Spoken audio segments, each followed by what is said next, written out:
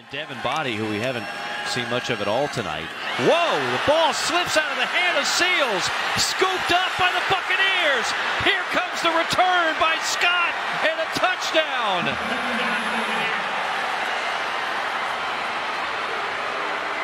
Yeah, that's correct. That's the score. That ball's out. It's the pressure. He got nervous, but Steven Scott, remember he dropped the interception to play before, but this time, scoop, race to the end zone. This ETSU defense making plays. Excited bunch of Buccaneers.